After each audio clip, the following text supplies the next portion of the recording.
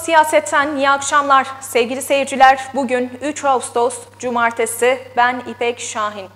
Vergi ve sosyal güvenlik alanına ilişkin düzenlemeler içeren kanun teklifi Türkiye Büyük Millet Meclisi Genel Kurulu'nda kabul edildi. Sevgili seyirciler bu hafta yolculuğa ekonomi başlığıyla başlıyoruz. Emek Partisi ile paylaşalım ilk haberi. Emek Partisi İstanbul Milletvekili İskender Bayhan vergide adalet tartışmalarına ortak oldu. İşçiler, emekçiler, sevgili gençler, Türkiye'deki vergi sistemini daha da adaletsiz hale getiren yeni düzenlemelerle karşı karşıyayız. Erdoğan ve Şimşek öncülüğündeki ekonomi yönetiminin cafcaflı sözlerle basına sızdırdığı sözde vergide adalet paketi apar topar geçirilmek üzere meclise getirildi.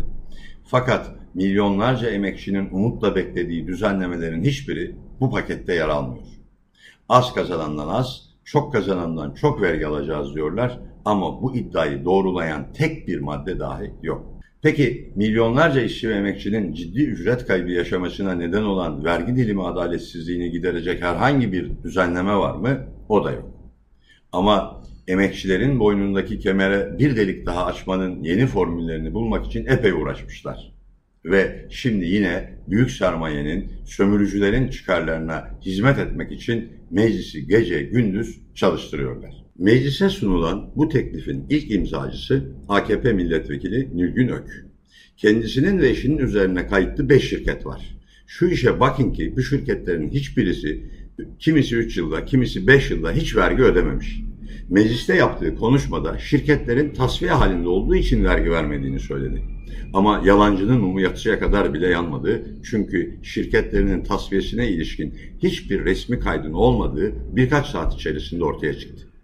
Nilgün Ök tek olsaydı buna bir tesadüf deyip geçebilirdik. Ama teklifin bir diğer imzacısı olan AKP milletvekili Can Türk Alagöz'e ait Alagöz Holding de son 3 yılda kurumlar vergisi vermemiş. Yine teklifin imzacılarından AKP Bursa Milletvekili Refik Özen'e ait Örnek Yemek isimli şirket de son 3 yılda hiç vergi ödemeyenler arasında. Bir de çıkıp hiç utanmadan %10 kurumlar vergisinin ödenmesini garanti altına alıyoruz diye göz boyamaya çalışıyorlar. Bakın sadece siz değil sermaye de fedakarlık yapıyor yalanını yutturma peşindeler. İşçi emekçi kardeşlerimizin büyüyen huzursuzluğunu ve öfkesini dizginlemek istiyorlar. Saray iktidarı 2024 bütçesinde vergi indirimi, vergi istisnası adı altında sermayeden alınacak 1 trilyon 800 milyar TL'lik vergiden vazgeçti. Dahası 2025'te 2 trilyon 700 milyar, 2026'da ise 2 trilyon 600 milyar lira vergiyi de almayacağını ilan etti. Yani yerli ve yabancı tekellerin onların işbirlikçilerinin yeminli hizmetkarlığı olan emekçilerin karşısında ise eli sopalı vergi tahsilleri kesilen Şimşek diyor ki siz içinizi ferah tutun biz hepsini soyunup soğana çevireceğiz adına da vergide adalet diyeceğiz yutturacağız endişelenmeyin. En düşük emekli aylığının 12.500 liraya çıkarılmasını da içeren vergi kanunlarıyla bazı kanunlarda değişiklik yapılmasına dair kanun teklifi Türkiye Büyük Millet Meclisi Genel Kurulu'nda kabul edilerek yasalaştı. Yasayla Danıştay'ın iptal kararı doğrultusunda amme alacaklarının tahsil usulü hakkında kanunda değişikliğe gidiliyor. Buna göre kamu mali yönetimi ve kontrol kanununa tabi kamu idareleriyle bu idarelere bağlı döner sermaye işletmecilerince mahkeme kararları ve icra dairelerinin ödeme ve icra emirleri üzerine yapılacak ödemelerde de borcu yoktur belgesi aranılması yönünde Hazine ve Maliye Bakanı'na yetki veriliyor. Gelecek Partisi'nde sıra. Gelecek Partisi Denizli Milletvekili Sema Silkin Ün, mecliste yaptığı konuşmada vergisiz holdinglerin ekonomimize etkisi araştırılsın dedi.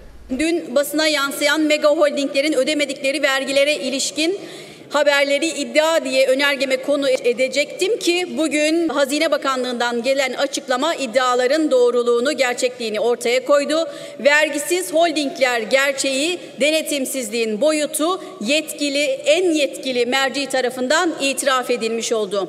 Evet tam bir matrahsızlar cennetine döndü ülkemiz. Tabirimi mazur görürseniz matrahsız kodamanlar ülkesi de diyebilirsiniz cennet vatanımıza. Firmaların isimlerini basında çarşaf çarşaf yazıldığı için burada tekrar anmayacağım. Muhtemelen malum elektrik firması da tüm hisseleriyle satın alan İngiliz şirketi de öyle düşünmüş olacak ki 2021, 22, 23 yıllarında zarar ettiği iddiasıyla vergi tahakkuk bildiriminde matrahsız yazan şirketin tüm hisselerini satın alıvermiş. Ne kadar yerli ve milli bir strateji değil mi? En fazla kamu ihalesi alan hazine garantili işlerle semirilen şirketlere bakıyorsunuz. Aynı vergi levhası büyük harflerle matrahsız yazıyor. Çocuğunuzun canı çikolata çekiyor, bakkala gidiyorsunuz, vergisini ödüyorsunuz ama o çikolatadan milyonlarca üreten firmanın levhasında yine büyük harflerle matrahsız yazıyor. Kimler yok ki o cennette? Zincir marketler, dev servis zincirleri, kuyumcu devleri, özel taşıma hizmeti sunan tabelasında sevimli kuş isimleri bulunan firmalar, aldıkları kamu ihaleleriyle dünyaya nam salmış inşaat şirketleri, Çin menşeli ticari internet portalları istisna, muafiyet, indirim derken sıfırı çekmişler.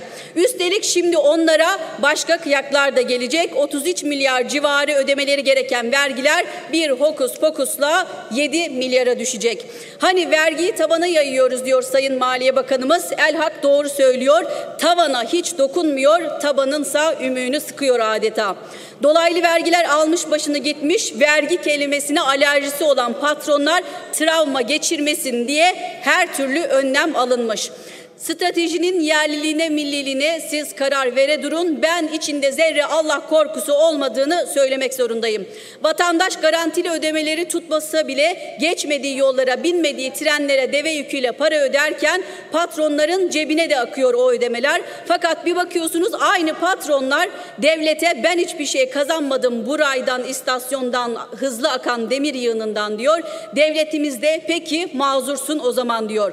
Esnafın başına jandarma dikmeyi planlayan akıl patronların kapısından bile geçmiyor.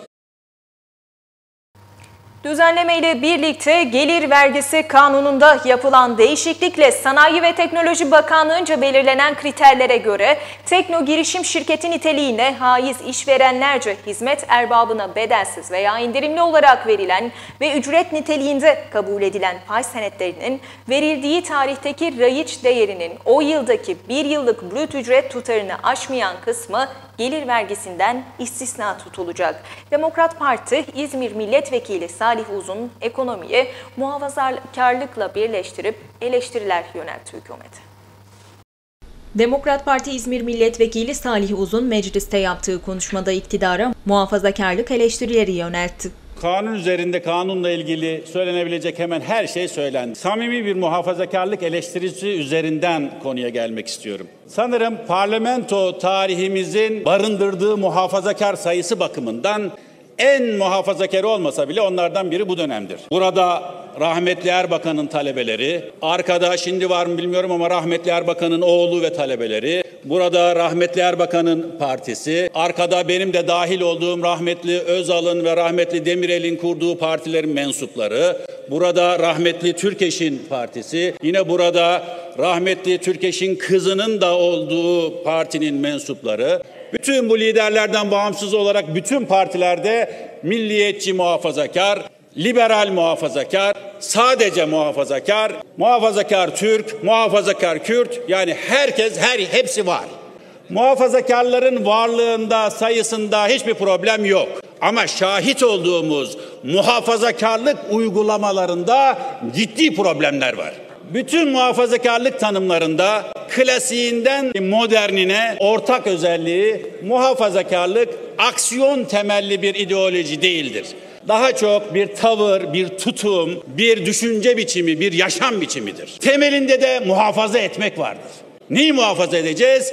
Değerleri, tarihin süzgecinden geçmiş, zamanın sınamasından geçmiş değerleri. Başka toplumu, başka toplumun içinde bulunduğu doğal çevreyi yani tabiatı, tabiatı oluşturan bütün canlıları, onların florasını, faunasını, onlara hayat veren her şeyi, Havayı, suyu, ormanı, denizi, dereyi, yaylayı, kurdu, kuşu, kediyi, köpeği.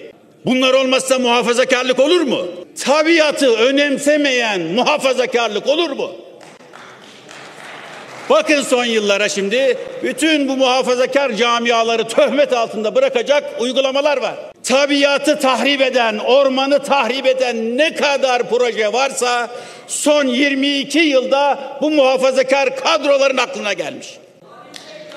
Dereleri kurutan, yaylaları kurutan ne kadar proje varsa son 22 yılda bu muhafazakar kadroların aklına gelmiş toprağı altını üstüne getiren ne kadar iş varsa ordunun yüzde yetmiş dördünü Giresun dağlarının neredeyse tamamını maden sahası ilan etmek bu muhafazakar kadroların aklına gelmiş. Düşünebiliyor musunuz?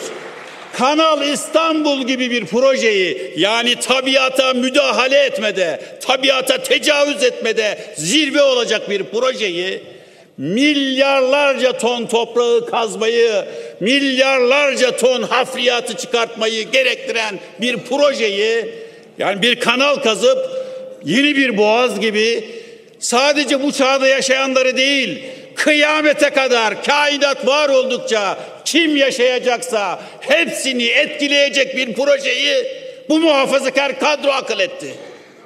Bunda bir tuhaflık yok mu? Bu muhafazakarlıkta bir gariplik yok mu? Şimdi gelelim bugünkü konuya. Köpekler çocuklara saldırıyor. Köpekler insanlara saldırıyor. E o zaman ne yapalım? Köpekleri öldürelim. Çocuklarımı öldürelim, köpeklerimi. Biz bu iki ölümden birini tercihe mecbur muyuz? Başka yol yok mu? Makul bir çözüm yok mu? E var canım. Var. Düşünsek var var. Bakın bu muhafazakar retorikte sürekli kullandığımız insanoğlu eşrefi mahlukattır, yaratılmışların en şereflisidir. Sürekli kullanırız. Amenna. Gerçi bu kavramın kendisi tam olarak dini kaynaklarda yoktur. Ama ahseni takvim Kur'an'da vardır. Biz insanı ahseni takvim üzere yani en güzel kıvamda yarattık. Kıvam, kıvam. Yani denge. İnsanoğlu varlıklar aleminde dengeyi kurma kapasitesine sahip olduğu için makulü arama ve makulü bulma kapasitesine sahip olduğu için yaratılmışların en şereflisidir. Yoksa makulden uzaklaşmışsanız, vicdanla irtibatınızı kopartmışsanız niye yaratılmışların en şereflisi olasınız ki?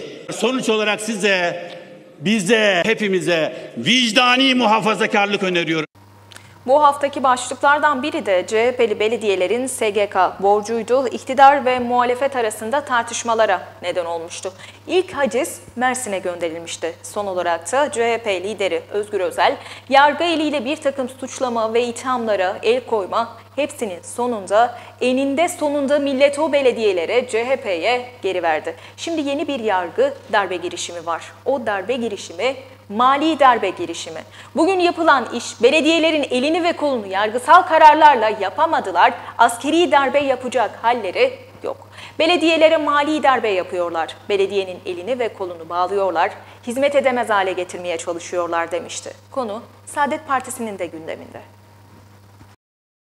Saadet Partisi Genel Başkanı Temel Karamollaoğlu SGK'nın belediye borçlarını talep etmesini değerlendirdi. Karamollaoğlu ben belediyelerin büyük bir kısmını kaybettim. Şimdi bana oy vermeyip de bunlara oy verenlerin canına okuyacağım diyor. Zannediyor ki belediye başkanını cezalandıracak. Ya sen belediye başkanını değil ki oradaki vatandaşı cezalandırma noktasına gidiyorsun değerlendirmesini yaptı.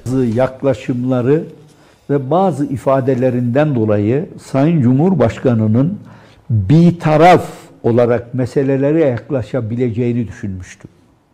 Ama bunlar şunu gösterdi. Hayır.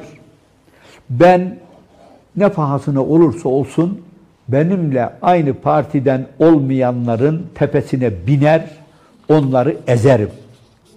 Bu neyi gösterir biliyor musunuz? Sadece mazlumların daha da mazlum olduğu gerçeğini ortaya koy. Ben mazlumları ezerim demek istiyor. Hangi partiden olursa olsun. Siz Düne Sonuçta kadar belediyelerin yönetimleri bir partiden olabilir ama o şehirde yaşayanlar İnsanlar- AK elbette. Partili, Saadet Partili, CHP'li her El- parti var. Elbette, elbette. Onun için siz halkı cezalandırma yoluna gidiyorsunuz. Bu doğru bir yaklaşım değil. Bu Tar- Tayyip Bey'e, AK Parti'ye fayda sağlamaz. Bu mantığı bir türlü yan- kavrayamadılar. Yani ben iktidardayım. Millete hizmet edebilmek için doğrudan doğruya bana bağlı olan kurumlar var. Eğitim Bakanlığı var. Diyanet İşleri var. Tarım Bakanlığı var. Bir bunlar vasıtasıyla. iki bir de şehirlerde insanların, yaşayan insanların günlük yaşantılarını etkileyen belediyeler var. Belediyelerde ben büyük bir kısmını kaybettim belediyelerin. Şimdi bana oy vermeyip de bunlara oy veren, verenlerin canını okuyacağım diyor. Zannediyor ki belediye başkanını cezalandıracak. Ya kardeşim sen belediye başkanını değil, oradaki vatandaşı cezalandırma noktasına gidiyorsun. Oradaki vatandaşın tepkisi sana çok daha büyük olur. İnsanlar kör değil, sağır değil, duyarsız değil. Bu gerçekleri görüyor. Düne kadar yapmadığın baskıyı neden bugün belediyelere belediyelere karşı uygulamaya kalkıyorsun? Bu vergiler bugün teşekkül etmedi. Dünden geliyor. Dün almadığını bugün alacaksın. Hem de büyük bir baskıyla ve büyük bir faizle. Bunların hiçbir tanesi iktidara fayda sağlamaz. Sağlamaz. Tayyip Bey bunu kaybetti. Yani partizanca yaklaşımın dışında bir yaklaşımı bir türlü benimseyemiyor. Adil olamıyor. Ben adil olursam aldığım karar bana da zarar verir endişesini taşıyor. Versin ya. Neticede emin ol sen kazanırsın adil olursan. Ama onunla beraber maalesef çalışanlar da onunla beraber Türkiye'yi yönetenler de aynı mantığa kapıldılar. Zulmederiz dediler. Halk bize destek vermiyorsa biz bize destek vermeyenlere zulmederiz. Cezalandırırız diyorsun. Cezalandırırız diyorlar. Dünya, İsrail'in Hamas Siyasi Büro Başkanı İsmail Haniye'ye suikastini konuşuyor. İsrail Başbakanı Benjamin Netanyahu, ülkesinin hem savunma hem de saldırı anlamında her türlü senaryoya karşı yüksek düzeyde hazırlıklı durumda olduğunu savundu. Büyük Birlik Partisi Genel Başkanı Mustafa Destici, İsrail'in hedeflerinden birinin de Türkiye olduğunu söyledi.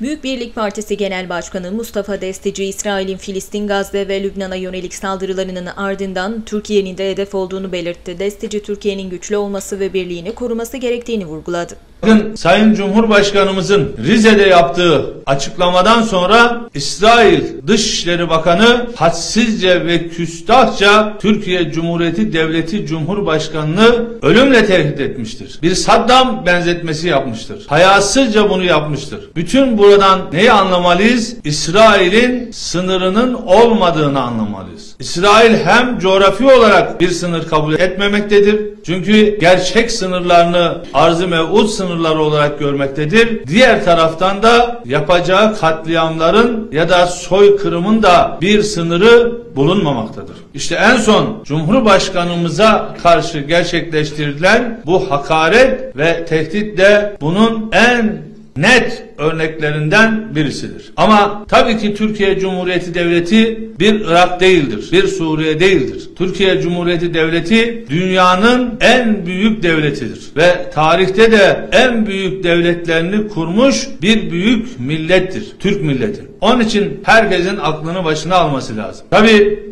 İsrail Filistin'de silahsız masum çocukları on binlerce çocuğu katlediyor. Kadınları katlediyor. Yaşlıları katlediyor ve oradan da bir zafer kazandığını düşünüyor. Onlara diyoruz ki siz ancak silahsız masum yaşlıları henüz daha kundaktaki bebekleri ve kadınları öldürebilirsiniz. Anca onlara gücünüz yeter. Ya da Amerikan desteğiyle elinizdeki bombalarla Beyrut'u vurabilirsiniz ya da işte füzelerinizle İsmail Haniye hadisesinde olduğu gibi hedeflerinizi şehit edebilirsiniz. Ama Türkiye Cumhuriyeti Devleti'nin karşısına çıkmaya sizin yüreğiniz de cesaretiniz de yetmez. Çünkü Türk milleti ve Türkiye Cumhuriyeti Devleti'nin yeryüzündeki hiçbir devletten ve kendisine saldıracak hiçbir güçten korkusu yoktur.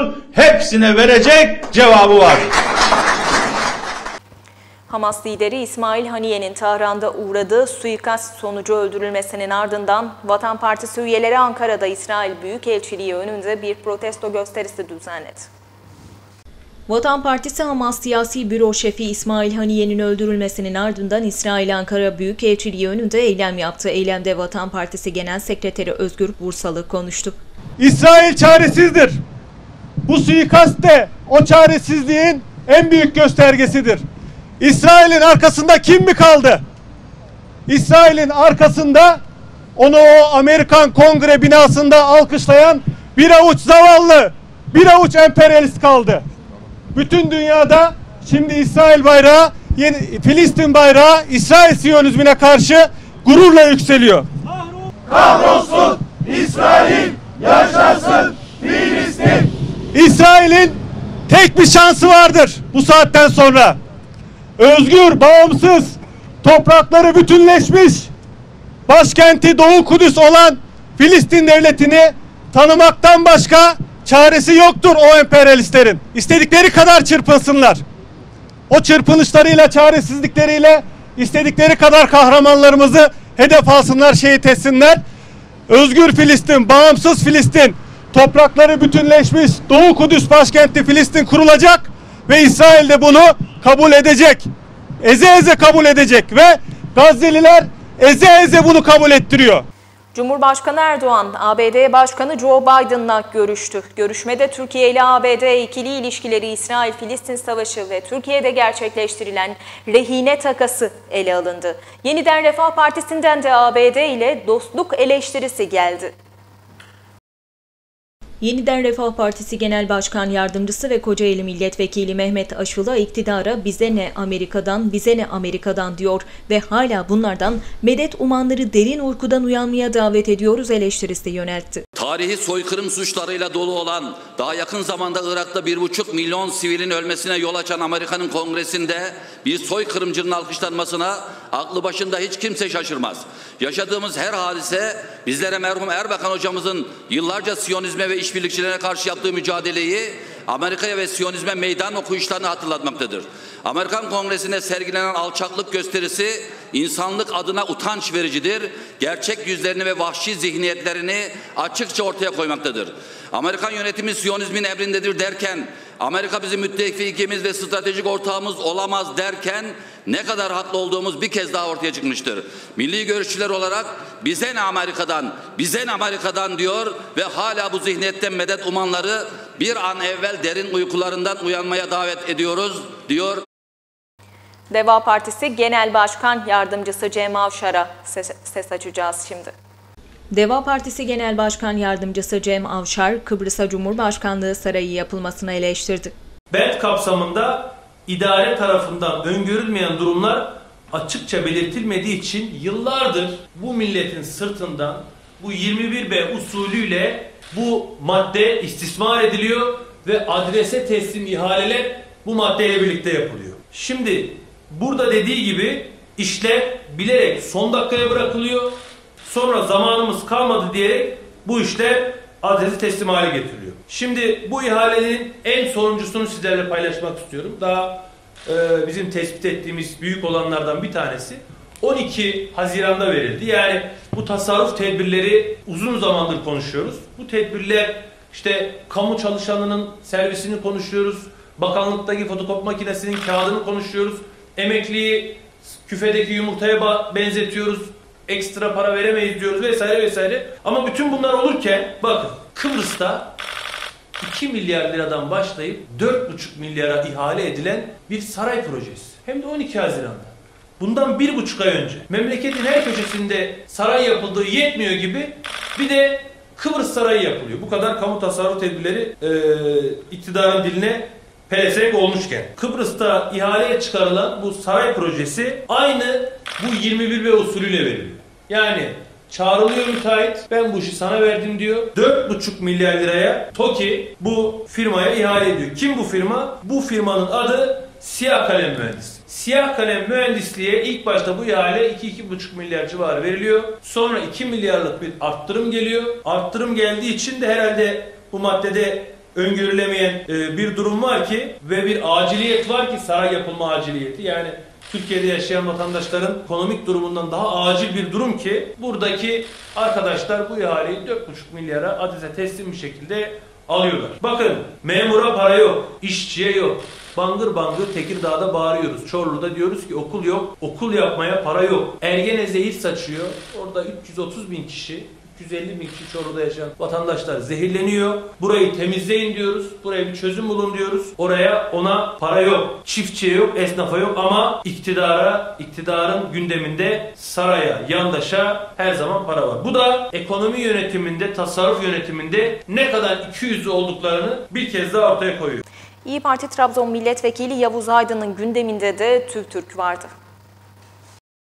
İyi Parti Trabzon Milletvekili Yavuz Aydın araç muayene ücretlerine ilişkin eleştiriler yöneltti. Vatandaşlarımız geçinmekte bile zorlanırken gereksiz para ödemelerinden kurtulsun diye 29 Ocak 2024 tarihinde TÜVTÜRK ile ilgili araç muayene ücretlerindeki pahalılığın önlenmesi için Meclis Başkanlığına araştırma önergesi sunmuştum. Ardından çalışmalarımıza ara vermeden İyi Parti grubu olarak önergemizi meclis gündemine taşımıştık. Gerek sosyal medyada gerekse cadde ve sokaklarda vatandaşlarımızla bir bütün olduk. Ücretin gereğinden fazla olduğunu ve kredi kartı ile ödeme yapıldığında ekstra komisyon kesilmesinin yanlış olduğunu hep birlikte dile getirmiştik. 10 Temmuz 2024 tarihinde çalışmalarımız meyvesini vermeye başladı ve tüketici hakem heyeti araç muayene istasyonunda kredi kartı ile gerçekleştirilen işlem için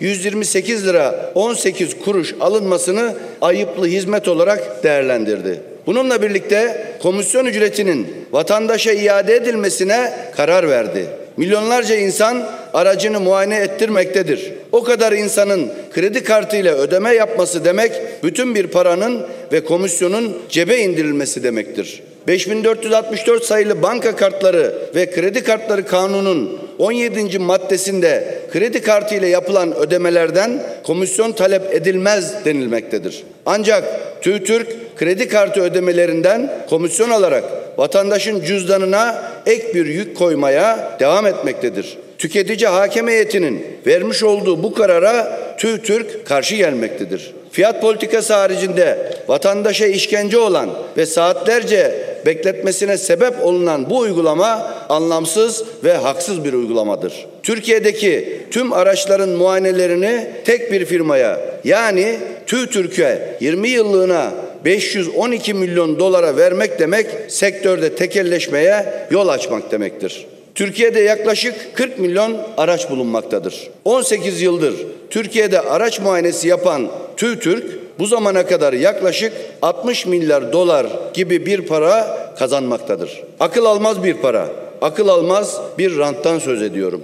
Türkiye'de 17 bin lira asgari ücret alan bir kişi 2200 lira araç muayenesi ücreti ödemektedir. Yani aldığı asgari ücretin %13'ünü araç muayenesine vermektedir. İngiltere'de ise 85 bin lira asgari ücret alan bir İngiliz 1800 lira araç muayene ücreti ödeyerek aldığı asgari ücretin sadece yüzde ikisini araç muayenesine ödemektedir. Aradaki uçurumu sizlerin takdirine bırakıyorum. Bu korkunç rant ve soygun düzenine dur demenin zamanı geldi ve geçmektedir. Ez cümle İyi Partimizin araç muayene ücretlerindeki pahalılığın önlenmesine dair verdiği grup önerisini reddeden Cumhur İttifakı milletvekilleri olarak bu düzene artık bir dur demeniz gerekmektedir. 2027 yılında yapılacak olan araç muayene ihalesinin takipçisi olacağımızı ve yeni bir rant düzenine müsaade etmeyeceğimizi belirtiyor. Bağımsız Türkiye Partisi Genel Başkanı Hüseyin Baş'ın da gündeminde gençler vardı.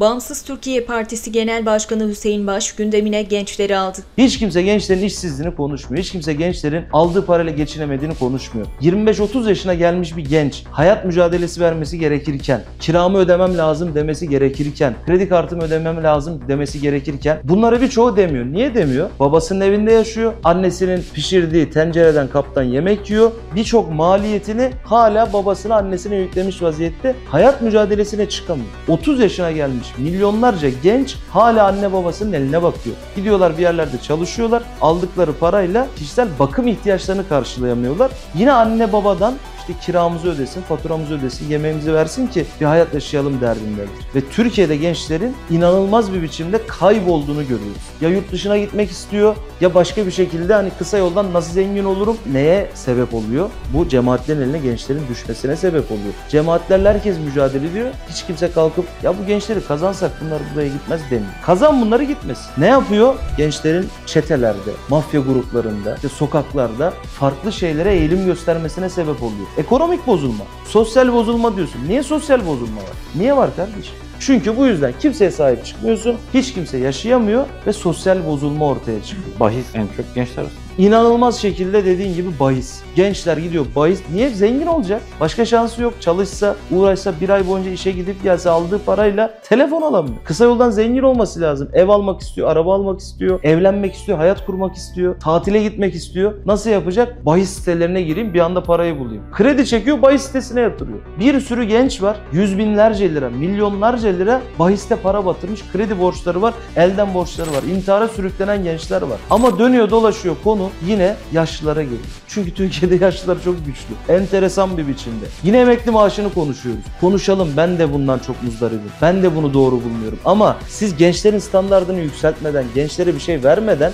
yarın emeklerini de dert edinir hale geleceksiniz. Hani bugün emeklerini çözelim ama çözemiyorsan da ya bugünün gençlerini çöz. Çünkü yarın emeklileri bunlar. Tabii emeklilik yaşını bunlar 95'e falan çıkarmazsa kimse emekli yapmak istemiyorlar.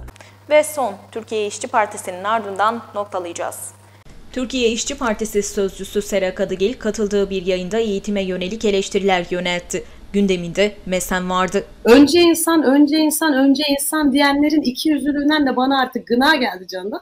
AKP rejiminde bak geri kalan her şeyi bir kenara bırakıyorum. Bir MESEN diye bir protokol çıkardılar biliyorsun değil mi? Evet, Çalışma Bakanlığı'nın Bakanlığı arasında el kadar çocukları alıp çırak diye patronların emrine veriyorlar. Asgari ücretin üçte birine köle gibi çalışıyor. 14-15 yaşında çocuklar. Ve ölenler Geçtiğimiz var aralarında. 6 çocuk öldü. 6 çocuk öldü.